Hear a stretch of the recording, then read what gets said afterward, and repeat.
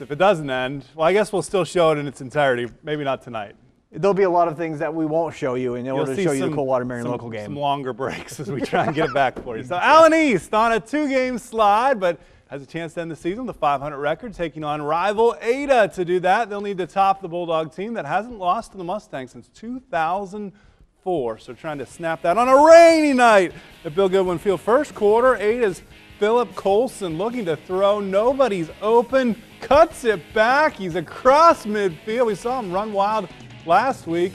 Does it again here. First down at the Mustang 42 yard line. Then Colson running again, but here comes Jonah Meyer. Nice tackle for Allen East. Ada stays at it. Colson to the air to Brandon Hull. First down yardage here. Then guess who? It's Colson running in the rain. He's not singing as far as I know, but was on his feet. And nice little skip, tough running, spins, first down for Ada. Colson wants to pass, nowhere to go. So you guessed it, he's taken off again. He gets all the way to the 14-yard line. Big first down. The Mustang defense stiffens. Look at Logan McClure. Big pass breakup here, denying Ada a touchdown. Then it's Gabe Cribley in the backfield. Huge sack for Cribley. Fourth down. Ada's going for it.